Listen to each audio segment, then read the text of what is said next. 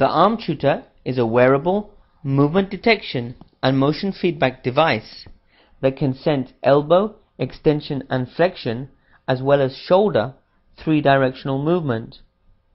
The ArmTutor is indicated for arm movement dysfunction following neurological or orthopedic injury and disease.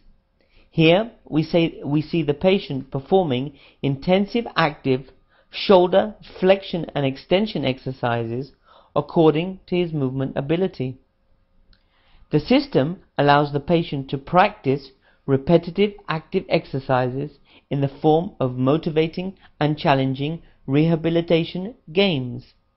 The games are customized to the patient's motor, sensory, and cognitive movement ability, including range of motion, speed, and accuracy of movement. The exercises can be undertaken in different positions, including sitting, standing, or lying, with the patient performing assisted active, active, or against resistance exercise practice. Here we see the patient performing intensive active abduction adduction exercises again according to his movement ability.